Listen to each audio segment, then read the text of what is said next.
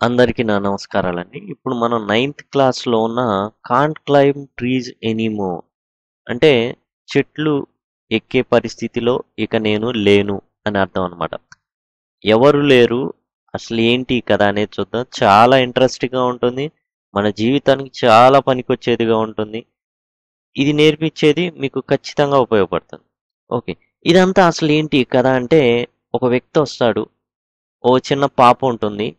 వీళ్ళిద్దరి మధ్య జరిగే సంభాషణ అన్నమాట. జనరల్‌గా అయితే కొంత వయసున్నోళ్ళు చదివితే దీని యొక్క అర్థం అనేది బాగా అర్థమవుతుంది. ఓకే. మనం ట్రై చేద్దాం. He stood on the grass verge by the side of the road and looked over the garden wall at the old house. ఓ వ్యక్తి వచ్చాడు. ఒక పాత ఇంటికి వచ్చేసాడు. వచ్చేసి నించొని చూస్తూ ఉన్నాడు ఆ ఇంటి వైపుగా. It had not changed much. అది పెద్దగా మారలేదు ఆ ఇల్లు. The old house built with solid blocks of granite was not altered at all. ఆ ఇల్లు అనేది ఏంటంటే గ్రానైట్ రాళ్ళతో కట్టబడింది. ఇటుకలతో కాదండి. కొండ రాళ్ళతో కట్టబడింది. అందుకని పెద్దగా మార్పేం లేదు.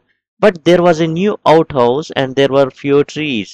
కానీ మార్పు జరిగిందల్లా ఏంటంటే బయట ఒక చిన్న ఇల్లు లాంటిది అవుట్ హౌస్ లాంటిది కట్టడం అనేది జరిగి జరిగింది. అంటే జస్ట్ ఎవరో ఒకళ్ళు పన్నోళ్ళు ఉండడానికి కానీ ఇట్లా అవుట్ హౌస్ అనేది కట్టడం అనేది జరుగుతుంది. అండ్ లేదా ఎవరైనా కొత్తగా వచ్చిన వాళ్ళ కోసం ఉండడానికి ఒక చిన్న ఇల్లు లాంటిది ఉంది అక్కడ అలానే కొన్ని కొత్త చెట్లు అనేవి ఉన్నాయి. అంతకు మించి పెద్దగా మార్పేం లేదు. He was glad to see that the jackfruit tree still stood at the side of building casting its shade on the wall. ఆయన ఆనందానికి బాగా తోడైంది ఏంటంటే అక్కడ ఒక చెట్టు ఉంది. ఆ చెట్టు ఇంకా కూడా ఉంది. అది దాని యొక్క నీడ ఇంకా ఆ యొక్క ఇంటి మీద పడతానే ఉంది. జనరల్‌గా ఏసీ అవసరం లేదు. ఎందుకంటే అంత పెద్ద చెట్టు ఇంటి మీద నీ ఇంటి ఆనుకొని ఉంది దాని యొక్క నీడ కానివ్వండి, ఆ చల్లదనం కానివ్వండి బాగుంటుంది. ఎందుకంటే he remembered his grandmother saying వాళ్ళ అమ్మమ్మ గారు చెప్పడం అతను విన్నాడు చాలాసార్లు a blessing rest on the house where the shadow of tree falls. చెట్టు యొక్క నీడ అనేది ఎక్కడైతే పడుతుందో, ఏ ఇంటి మీదైతే పడుతుందో అక్కడ ఆశీర్వాదం ఉంటుంది. అంటే మంచి జరుగుతుంది ఆ ఇంటికి అనేసి. మంచి అనేది ఏముంది అండ్ మోస్ట్ కరెంట్ బిల్ అనేది మనకి చాలా తక్కువగా వచ్చేస్తుంది. జనరల్‌గా ఇప్పటి సెన్స్‌లో చెప్పుకోవాలి అంటే. ఏసీ బాధలు ఉండవన్నమాట. AC current bill. And so the present owners must also be receiving the trees blessings. కాబట్టి ఇప్పుడున్న వాళ్ళు కూడా ఖచ్చితంగా ఆ యొక్క ఆశీర్వాదం అనేది వాళ్ళు ఆ లాభం అనేది వాళ్ళు ఖచ్చితంగా పొందుతున్నారు. దీన్ని బట్టి మనకి క్లారిటీగా మొదటి పారాగ్రాఫ్ ద్వారా ఏం తెలుస్తుందంటే ఒక కొత్త వ్యక్తి వచ్చాడు. ఆ వ్యక్తి ఆ ఇంట్లో ఉన్నవాడై ఉండాలి. ఎందుకంటే ఇంత క్లియర్‌గా చెప్తున్నాడు. మా అమ్మమ్మ ఇలా చెప్పింది. ఇల్లు పెద్దగా మారలేదు అని చెప్తున్నాడంటే ఆ వ్యక్తికి ఆ ఇంటికి ఏదో సంబంధం ఉంది. ఆ వ్యక్తి చూడడానికి వచ్చాడు. వచ్చేసి అంతా పరిశీలిస్తున్నాడు. At the spot where he stood there had once been a turnstile. Turnstile. అతను ఎక్కడైతే నించున్నాడో అక్కడ టర్న్ స్టైల్ అనేది ఉండేది. ఈ టర్న్ స్టైల్ అంటే ఏంటంటే గుండ్రంగా ఉంటుందండి. ఒక వ్యక్తి ఒకేసారి ఇంట్లోకి వెళ్ళగలడనమాట. ఒక వ్యక్తి వెళ్ళిన తర్వాతే ఇంకో వ్యక్తి రావడానికి ఆస్కారం ఉంటుంది. ఈ టర్న్ స్టైల్ ఎందుకు గుర్తు చేసుకున్నాడంటే జనరల్‌గా ఈ టర్న్ స్టైల్‌ని పిల్లలు ఎలా చేస్తారు? ఎలా వాడుకుంటారంటే రెండు కాళ్ళు దాని మీద పెట్టేసి గోడని ఇట్లా అనేసి రౌండ్‌లు తిరుగుతా ఉంటారు. రంగుల తిరుగుతూ ఉంటారు అనమాట and as a boy he would swing on it going round and round until he was quite dizzy. కళ్ళు తిరిగేంత వరకు కూడా దాని మీద ఈ పిల్లలు ఏం చేస్తారంటే దాన్ని దాని మీద ఎక్కేసి రౌండ్‌లు తిరుగుతూ ఉంటారనమాట. యాక్చువల్‌గా ఈ టర్న్ స్టైల్ బొమ్మ చూపిద్దాం అనుకున్నా. కానీ Indian old style turnstile అని అయితే మాత్రం ఎక్కడ పిక్చర్స్‌లో కనబడలేదండి. గూగుల్‌లో సెర్చ్ చేసినప్పటికీ అందుకని మీకు ప్రొవైడ్ చేయలేకపోతున్నాను. రంగులు రావటం అట్లా తిరుగుతూ ఉండిద్ది అనమాట రౌండ్ రౌండ్‌లు పిల్లలు భలే ఆనందిస్తారు. And the opening walled of tall hollyhocks grew on the other side of the wall. Hollyhocks అంటే పూలండి. ఇక్కడ మీకు జాక్ ఫ్రూట్ అనేది ఒకటి వచ్చింది అది పండు అనమాట జనరల్‌గా మనకి అంతగా విస్తృతంగా లేదు మన మన పరిసరాల్లో. అండ్ హాలీహాక్స్ అనేవి పూలకు సంబంధించింది. అయితే గుర్తు చేసుకున్నాడు. ఆ ఇంటికి ముందు ఫస్ట్ గేట్ ఎక్కడైతే ఉందో అక్కడ టర్న్ స్టైల్ ఉండేది. ఆ టర్న్ స్టైల్ మీద నేను తిరిగేవాడిని. ఎంతలా తిరిగేవాడిని అంటే నా కళ్ళు తిరిగేంతలాగా తిరిగేవాడిని. అంటే తన గత కాలపు స్మృతుల్ని గుర్తు తెచ్చుకుంటున్నాడు. గుర్తుకొస్తున్నాయని పాట ఉంది కదా! ఆ విధంగా అనమాట what are you looking at? ఏం చూస్తున్నావు అక్కడ it was a a embodied voice at first moments later girl stood framed between dark red hollyhocks staring at the man. She was only 12 or 13, slim and dark, with lively eyes and long black hair. ఏం చూస్తున్నావు అక్కడ? అని ఒక స్వరం వినబడింది. ఏంటా? అని చూస్తే ఒక అమ్మాయి ఉంది. అండ్ మోస్ట్ ఆ చెట్టు ఎంత ఎత్తులో ఉన్నాయో అంతే ఎత్తు ఆ ఉండుండొచ్చు. అందుకని పక్కన ఆ పూల పక్కనే నించొని నల్లటి కళ్ళతో ఓకే? అండ్ చురుకైన కళ్ళతో ఓకే? చాలా సన్నగా ఉందమ్మాయి బహుశా పన్నెండు పదమూడేళ్ళు ఉండొచ్చు. అండ్ నల్లటి కురులు అడుగుతుందన్నమాట. ఏం చూస్తున్నావు అనేసి. అనగానే ఈ వ్యక్తి ఒకసారిగా మరలా ఈ ప్రపంచంలోకి వచ్చాడు. I'm looking in the at the house he said నేను ఈ ఇంటి వైపు చూస్తున్నాను అన్నాడు. అప్పుడు వెంటనే అమ్మాయి అంది వాయ్ డూ యూ వాంట్ బయట కొనాలనుకుంటున్నావా? అని అడిగింది. వెంటనే ఇజ్ ఇట్ యువర్ హౌస్ ఇది మీ ఇల్లా? అనగానే అమ్మాయి it's my father's no no no ఇది నా ఇల్లు కాదు మా నాన్నగారిది. And what does your father do okay మీ నాన్నగారు ఏం చేస్తారమ్మా? ఈజ్ ఓన్లీ ఎ కల్నల్ ఆయన కేవలం ఒక కల్నల్. ఆఫ్టర్ ఆల్ ఒక కల్నల్ లాగా అందనమాట. వాట్ ఓన్లీ ఏ కల్నల్ ఏంది? ఓన్లీ ఏ కల్నల్ కూడా అంటారా? అంటే కేవలం కల్నలే అని కూడా అంటారా? Well he should have been a brigadier by now యాక్చువల్గా ఆయన బ్రిగేడియర్ ఓ మంచి ఆఫీసర్ అయి ఉండాల్సింది కానీ అవలా the man burst out laughing వెంటనే ఈయనకి నవ్వు వచ్చేసింది. It's not funny she said నేనేం జోకే లేదే అంది ఈ అమ్మాయి. Even mummy says he should have been a brigadier అయితే మా అమ్మగారు అంటూ ఉంటారు బ్రిగేడియర్ అవ్వాల్సిందమ్మా మీ నాన్నగారు? కానీ కల్నల్గానే ఉన్నాడు. It was on the tip of his tongue to make a witty remark perhaps that's why he still a colonel ఓహో వాళ్ళ అమ్మగారు అంటుంటారు కాబట్టి ఆయన కేవలం కల్నల్ అయ్యాడనమాట ఓకే. అంటే ఏంటంటే వాళ్ళ అమ్మగారు ఏదైతే అంటూ ఉంటారో ఆ మాట అంటే ఒక మనస్తత్వం తెలిసిపోయింది. ఓకే. అంటే వాళ్ళ అమ్మగారికి వాళ్ళ నాన్నగారు పెద్ద గొప్ప అభిప్రాయం లేదు. ఇంకా కలనలేనమ్మా అన్నట్టు ఇంకా కలనలే అని ఈ అమ్మాయి కూడా అంటుంది. But he did not want give offence. కానీ దీన్ని అంతగా ఈ సెంటెన్స్ని పొడిగించాలని ఇతను అనుకోవట్లే. ఎందుకంటే ఆమె హర్ట్ అవ్వచ్చు అమ్మాయి. They stood on either side of the wall appraising each other. గోడ యువతలి వైపు ఈయన గోడ అవతలి వైపు ఆమె ఆ అమ్మాయి. ఇద్దరు కూడా ఒకరినొకరు చూసుకొని అంచనా వేసుకుంటున్నారు. ఓకే ఈ అమ్మాయి అడిగింది అనమాట well she said finally if you don't want buy the house what are you looking at okay ఇల్లు గనక నువ్వు కొనాలని ఉద్దేశం లేకపోతే ఎందుకు చూస్తున్నావు? I use to live here once నేను ఒకప్పుడు ఇక్కడ ఉండేవాడినమ్మా అనేసి అతను అన్నాడు. ఓ twenty five years as a boy, boy a a young man and then my died and died and the house and house and ఇరవై ఐదేళ్ళ క్రితం నేను ఇక ఒక బాలుడిగా ఉన్నాను. ఒక కుర్రోడ్లాగా ఉన్నాను. అండ్ మా అమ్మమ్మ గారు చనిపోయారు. అమ్మమ్మ వచ్చు నాయనమ్మ వచ్చు మా అమ్మమ్మ చనిపోయారు. అండ్ మేము ఏం చేసాం ఈ ఇంటిని అమ్మేసి వెళ్ళిపోవడం అనేది జరిగింది. She was silent for a while taking in is in this information then she said and you would like to buy it back now but you don't have the money వెంటనే ఈ అమ్మాయి అందేసుకుంది అనమాట ఓహో అయితే అమ్మి వెళ్ళిపోయారు కాబట్టి ఇప్పుడు నువ్వు దేనికని వచ్చావు? ఇల్లు చూసి మరలా కొనడానికి వచ్చావు. అవునా? కానీ నీ దగ్గర డబ్బులు లేవు. అవునా? అని ఈ అమ్మాయి అన్ని ప్రశ్నలు ఆమె అడుగుతుంది సమాధానాలు కూడా అమ్మాయి చెప్తుంది. He did not he did not look very prosperous కానీ అతన్ని చూస్తుంటే అతనేం పెద్ద రిచ్ లాగా ఏం కనిపించలా? No I was not thinking of buying it back wanted to see it again that's all how long have you lived in it and uh, చెప్తున్నాను అనమాట లేదు లేదు నేను దీన్ని కొనదలుచుకోలేదు. జస్ట్ ఊరకు వచ్చి నేను చూడాలనుకున్నాను అంతే. అనగానే ఎంతకాలం ఉన్నావేంది ఇక్కడ? అనేసి అడిగాడు అతనే అమ్మాయిని. Only three years. మూడేళ్ళ నుంచి ఉంటున్నాను నేను ఇక్కడ అని ఆ అమ్మాయి చెప్పడం జరిగింది నవ్వింది. She had been eating a melon ఆ అమ్మాయి ఈ అమ్మాయి ఏం చేస్తుందంటే పుచ్చకాయ తింటూ ఉండి and there were still juice in the corners of mouth general తెలిసింది పుచ్చకాయ పొడుగ్గా ఉంటుంది కదా. కాబట్టి అది తింటున్నప్పుడు అటు ఇటు తగులుతూ ఉంటుంది అవన్నీ కూడా తగిలి ఓ రకంగా ఉంది అమ్మాయి. అంటే అట్లా కనబడ్డాం అనమాట ఫన్నీగా. జనరల్గా జోకర్గా ఉంటుంది కదా అటు ఇటు మనకేంటంటే జస్ట్ ఎర్ర రంగు ఉంటుంది ఆ విధంగా కనబడుతుంది. Would you like to come in and look more closely ఏంటి ఇంట్లోకి వచ్చేసి దీన్ని జాగ్రత్తగా పరిశీలిద్దాం అనుకుంటున్నావా? అనగానే wouldn't your parents mind okay మీ అమ్మగారు ఏం అనుకోరా?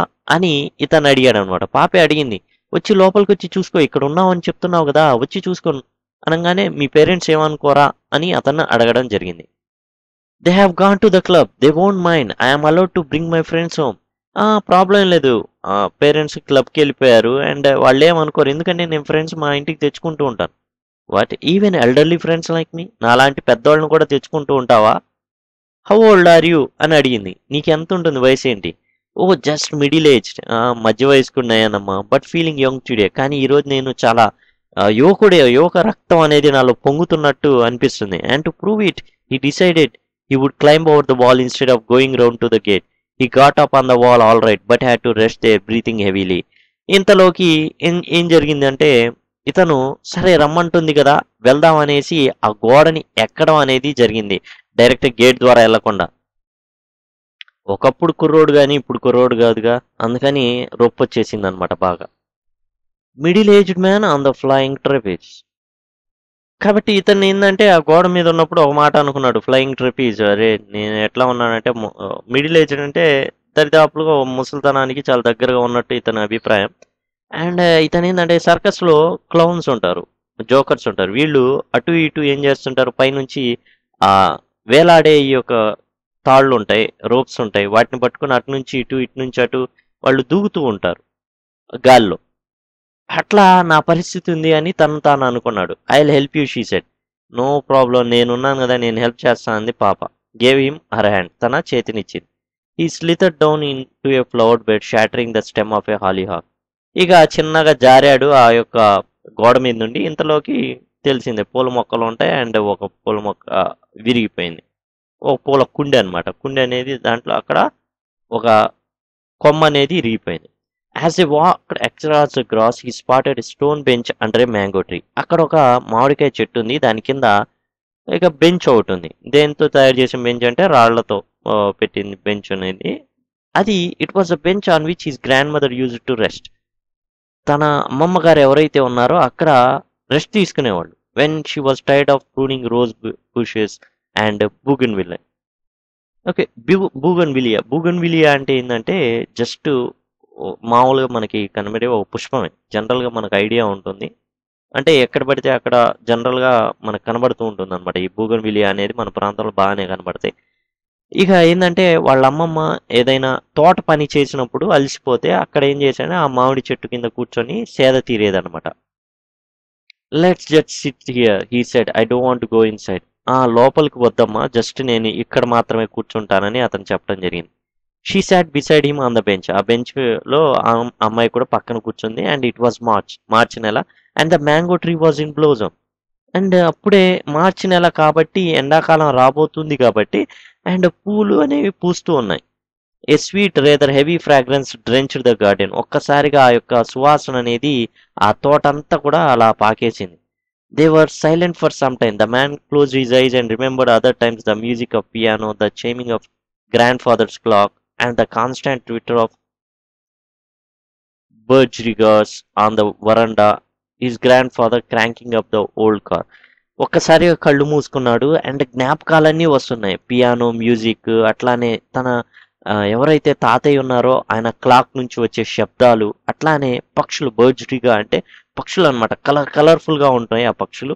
అవన్నీ కూడా మరి చెట్లు ఉన్నాయంటే ఖచ్చితంగా అవి వస్తాయి. ఖచ్చితంగా అవి సౌండ్స్ చేస్తాయి. ఆ సౌండ్స్ అన్ని వినబడుతున్నాయి. అట్లానే తాతగారి యొక్క పాత కారు నుంచి వచ్చే శబ్దాలు కానివ్వండి అవన్నీ కూడా అతనికి వినబడుతున్నాయి.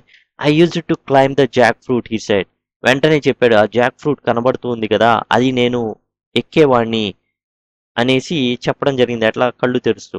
ఐ డింట్ లైక్ ద జాక్ ఫ్రూట్తో do you it's all right in pickles I suppose so the tree was easy to climb I spent a lot of time in it అంటే వెంటనే తన స్మృతుల్ని చెప్పడం మొదలుపెట్టాడు. నాకు ఆ జాక్ ఫ్రూట్ అంటే యాక్చువల్గా ఏంటంటే నేను దా వాడిని యాక్చువల్గా ఎక్కేవాడిని.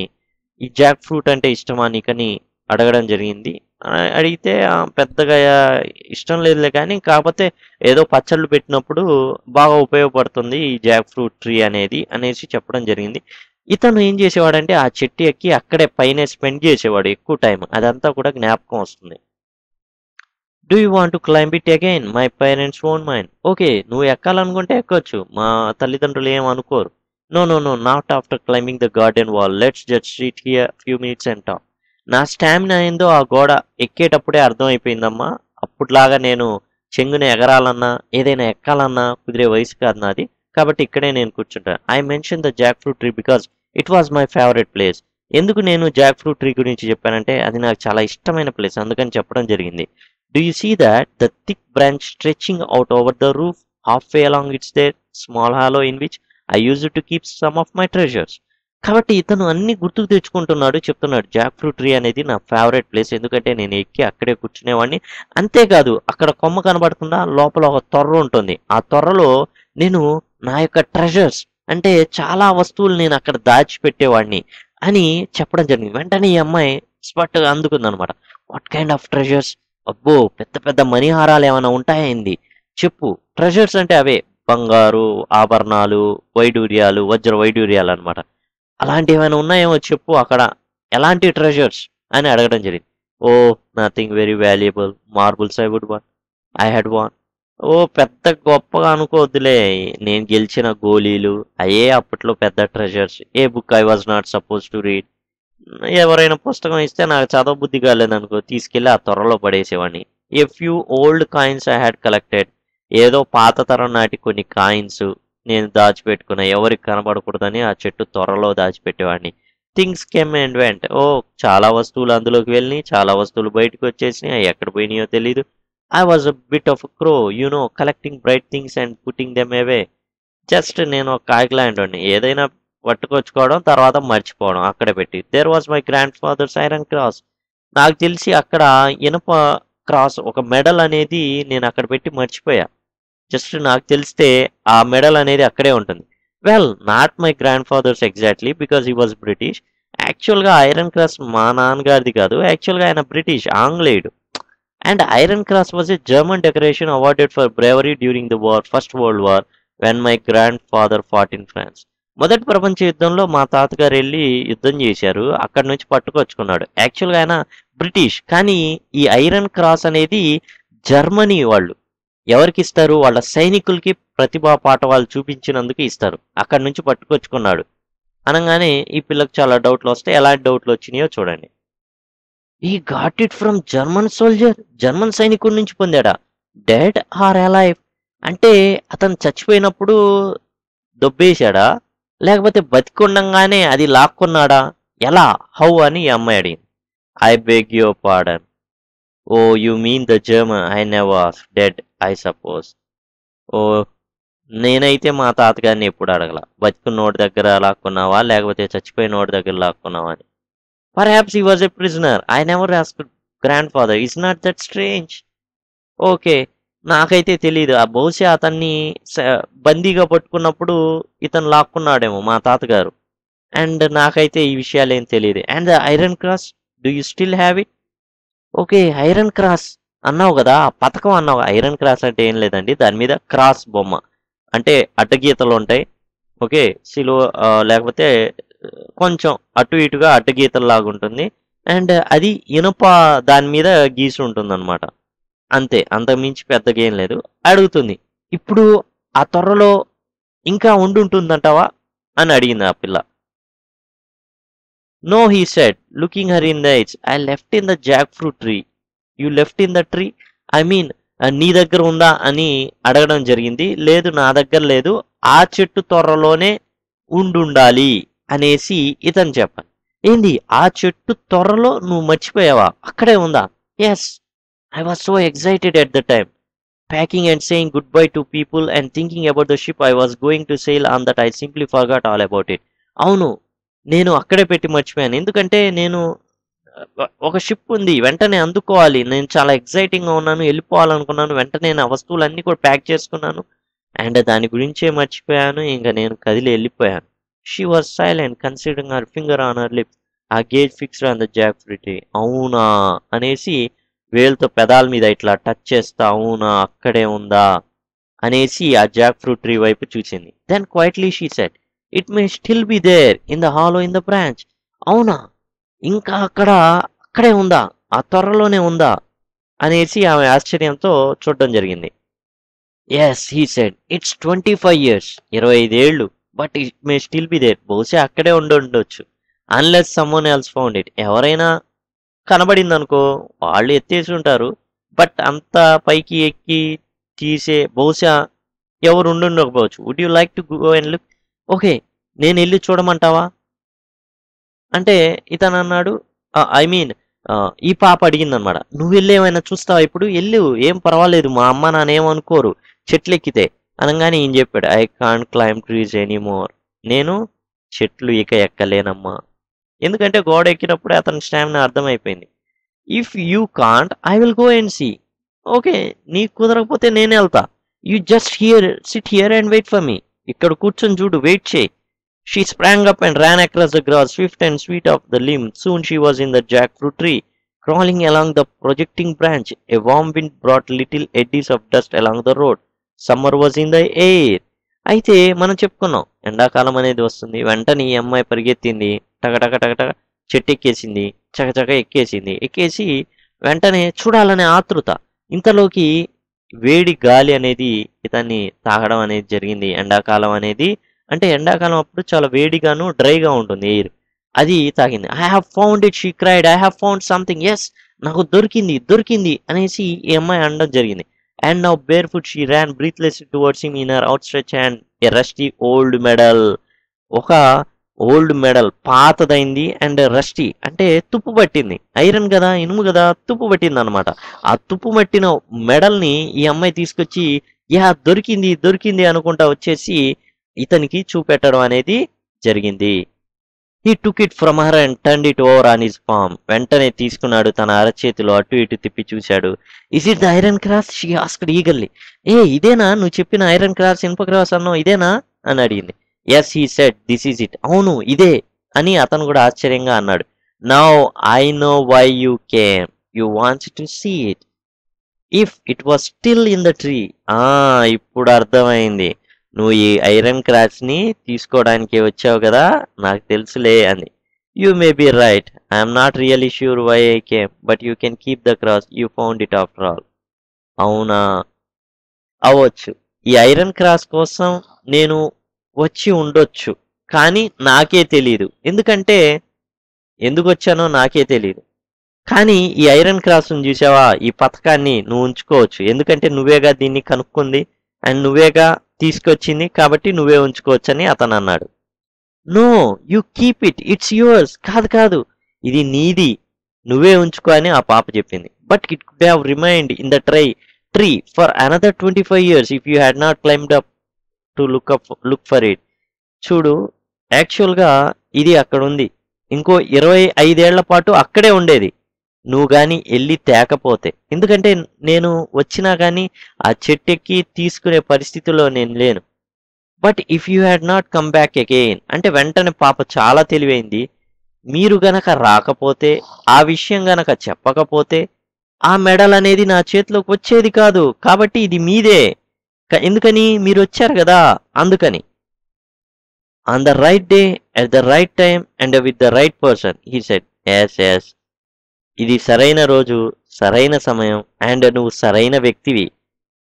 Getting up and placing the medal in a hands it was not the cross I came for it was my youth వెంటనే ఇతను చెప్పాడు అనమాట మా నేను ఈ క్రాస్ కోసం రాలా. ఇది నీదే. నేను వచ్చింది నా బాల్యం కోసం నా యవ్వనం కోసం. నేను ఇక్కడ ఆడుకున్న ఆటలు చూడడం కోసం ఒక ఫీలింగ్ కోసం. నాకు ఇవన్నీ గుర్తుకొస్తున్నాయి. మరలా నాలో యవ్వనం అనేది మరలా వస్తుంది. ఎంత ఆనందంగా ఉందో ఈ ప్లేస్ చూడడానికి. నేను వచ్చింది ఈ క్రాస్ కోసం కానే కాదు. నేను కోల్పోయిన నా బాల్యం కోసం నేను చూసుకోవాల్సి అనుకున్న నా యవ్వనం కోసం. She did not understand that. ఆ అమ్మాయికి అర్థం కాల. ఎందుకంటే అర్థం కాదు కూడా. ఎందుకంటే కొంతకాలం మనం వెళ్ళిపోయిన తర్వాత మన బాల్యకాలపు రోజులనేవి బాగా గుర్తుకొస్తాయి. మనం ఇప్పుడు ఎయిత్ క్లాస్ నైన్త్ క్లాస్ లేదా టెన్త్ క్లాస్ స్టూడెంట్ గాను ఉండి అండ్ మనం ఏమనుకుంటాం అంటే ఎంత కష్టపడుతున్నాం అనుకుంటాం. కానీ ఒక సర్టెన్ ఏజ్ వచ్చిన తర్వాత ఏదైతే ఇప్పుడు మనం అనుభవిస్తున్నామో జీవితం అది ఎంతో ఆనందమైన క్షణాలుగా మనకు ఆ రోజున అనిపిస్తాయి. అప్పుడు మరలా మన బాల్యాన్ని ఎత్తుక్కుంటూ ఖచ్చితంగా మనం ఎక్కడో ఒక చోట వెతుక్కుంటాం మనం రాసుకున్న రాతలోనో మనకు దొరికిన చిన్న చిన్న వస్తువుల్లోనూ మనం మన బాల్యాన్ని చూసుకుంటూ ఉంటాం. ఇక్కడ ఆ ట్రెజర్ అనేది మనం మన బాల్యం అనమాట మన బాల్యాన్ని గుర్తు చేసే వస్తువులు ఏవైతే ఉన్నాయో అదే పెద్ద ధనం అనమాట కానీ ఆ పాపకి అర్థం కాలేదు. But she walked with him to the gate కానీ ఆ గేట్ వరకు నడిచింది. And stood there gazing after him as he walked away ఆ గేట్ తెరుచుకొని అతను వెళ్ళిపోవడం జరిగింది. Where the road turn he look back wave to her చివరికి వెళ్ళిపోయాడు. అట్లా చెయ్యి ఊపాడు. టాటా నానా థ్యాంక్ యూ అని చెప్పుకుంటా. Then he quicken his steps and moved briskly towards bus stop వెంటనే బస్ స్టాప్ వైపు అతను మూవ్ అవడం అనేది జరిగింది. There was sprightliness in he step and something cried aloud in his heart అసలు ఒకలాంటి యవ్వనం చిన్న పిల్లోడు ఎలా గెంతుకుంటా వెళ్ళిపోతాడో ఆ విధంగా ఎంత ఆనందంగా ఉందో ఎంత సంతోషంగా ఉందో ఆ యొక్క జ్ఞాపకాలు అనేవి ఒక మనిషిని ఏ విధంగా మారుస్తాయి అనేది అతను నిజంగా ఫీల్ అయ్యాడు. Dark dancing eyes melon sweet lips lissom limbs తాను చిన్నప్పుడు ఏ విధంగా ఉన్నాడో జ్ఞాపకం చేసుకుంటూ ఏ విధంగా తాను అసలు ఎంత లైవ్లీగా ఎంత చురుగ్గా ఉన్నాడో అవన్నీ కూడా తలుచుకుంటా ఉత్సాహంగా the mango scented summer breeze made the blood course in his veins ఏదైతే ఆ యొక్క చెట్టు ఏదైతే ఉందో మామిడి చెట్టు ఆ యొక్క వాసన ఏదైతే ఉందో చిన్ననాడు తాను చూసిన వాసన చిన్ననాడు తాను ఫీల్ అయింది. మొత్తం కూడా తాను ఒక్కసారిగా తలుచుకుంటూ and he forgot for a moment that he could not climb trees anymore ఒక్కసారిగా మర్చిపోయాడు. తాను చిన్నపిల్లోనే నేను ఇంకా అని అనుకుని విధంగా వెళ్ళిపోయాడు. తాను చెట్లు ఇక ఎక్కలేడు. అనే విషయాన్ని ఏమాత్రం కూడా జ్ఞప్తికి తెచ్చుకోకుండా అసలు గుర్తుకు తెచ్చుకోకుండా నేను కుర్రవాణ్ణి నాలో మరలా ఆ రక్తం ప్రవహిస్తుంది ఆ జ్ఞాపకం నాలో మరలా ఏం చేసింది? ఒక షాక్ ఒక వైబ్రెంట్ని తీసుకొచ్చింది నా బాడీలో. అండ్ నేను మరలా కుర్రోడిని అయిపోయాను మరలా చిన్నపిల్లోడిని అయిపోయాను మరలా నా అవయవాల్లో ఒక శక్తి వచ్చేసింది అన్నట్టుగా ఫీల్ అయిపోయాడు అనమాట ఇది జ్ఞాపకాలు తీసుకొచ్చే విషయాలన్నమాట. కామె ఇది రస్కిన్ బాండ్ గారు రాసింది. అంటే చాలా చక్కగా రాయడం జరిగింది ఈయన. చాలా నిత్యం జరిగే విషయాలు అనమాట మీరు కూడా కొంతకాలం అయిపోయిన తర్వాత మీ బాల్యకాలపు మెమరీస్ ఏవైతే ఉంటాయో అవి గుర్తుకు తెచ్చుకొని సహకరించే వస్తువులు అంటే తెగ మోజు పడిపోతారు. అది నా చిన్నప్పటిది మా అమ్మమ్మ ఇచ్చింది మా తాత ఇచ్చాడను. ఎందుకంటే మీ వస్తువులు కొన్ని మీ తల్లిదండ్రులు చాలా జాగ్రత్తగా అపురూపంగా దాస్తారు. మీ చిన్ననాటి ఫోటోలు కానివ్వండి ఎందుకంటే అవి జ్ఞాపకానికి తెచ్చేయి అనమాట చాలా గొప్ప ఈ కోట్లు ఆ కోట్లు కోట్లు కన్నా కూడా అవి చూసినప్పుడు అవి వేరే వాళ్ళకి పనికిరాని అయి ఉండొచ్చు. కానీ మీకు మాత్రం ఒక పెద్ద ట్రెజర్ అన్నమాట. అలాంటి వాటిని ఎప్పుడు కూడా దాచిపెట్టుకోవాల్సిందే.